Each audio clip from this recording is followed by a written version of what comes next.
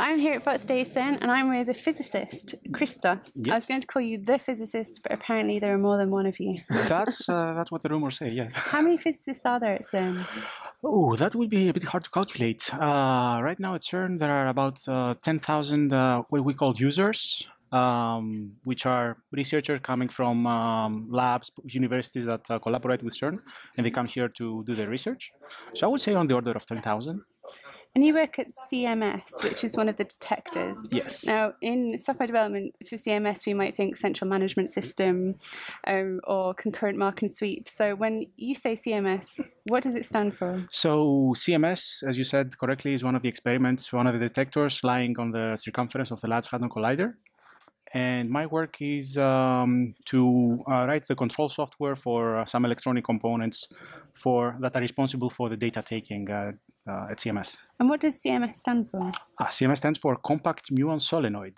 Okay, so muon is one of the fundamental particles, is that correct? It's one of the yes, one of the fundamental particles. It's a lepton, as we call it. It's like a cousin of uh, the electrons, actually.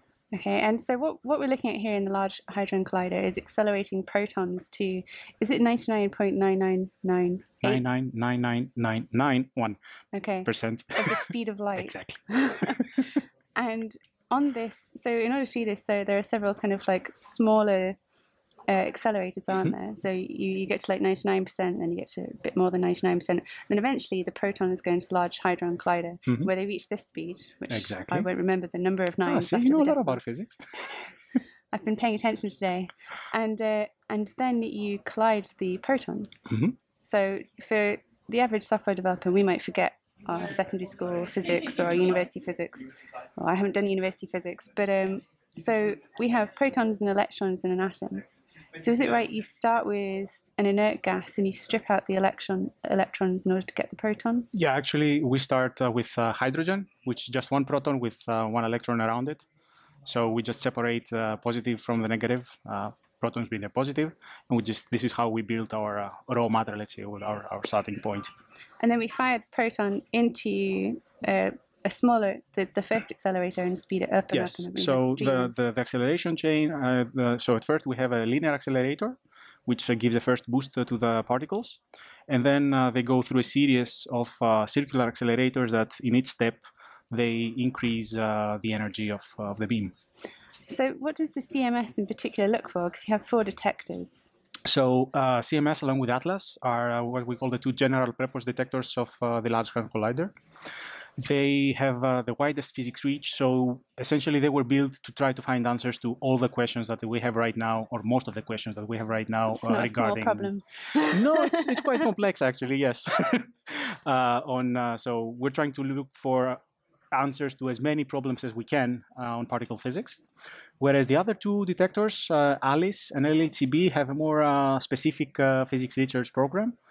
Uh, so LHCb, for example, is uh, looking into the matter-antimatter asymmetry. So according to what uh, the theories tell us, uh, after the Big Bang, we had equal quantities of matter and antimatter uh, created. Right now, everything around us is uh, purely matter. So we're trying to figure out why this antimatter disappeared, what made it go away. and the ALICE experiment is actually not using proton collisions, but it's using uh, lead ion collisions, so uh, lead nuclei. And it's trying to uh, study a property of matter called uh, quark, quark gluon plasma, which is a state of matter that existed only uh, fractions of a second right after the Big Bang. Very exciting. Oh, it's quite cool.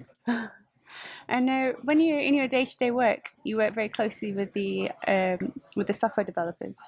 I am one of them. Oh, sorry. Of course you are. You, you are here. yeah. um, so yes, my job is uh, to uh, write software to control the electronics, and this actually means interfacing with people uh, also for the, with the engineers, uh, for example, that are actually building the electronics, and also uh, people that will be using those electronics to gather uh, the requirements and so on and so forth. So it's a pretty wide, uh, let's say, there's a wide range of uh, things to talk about.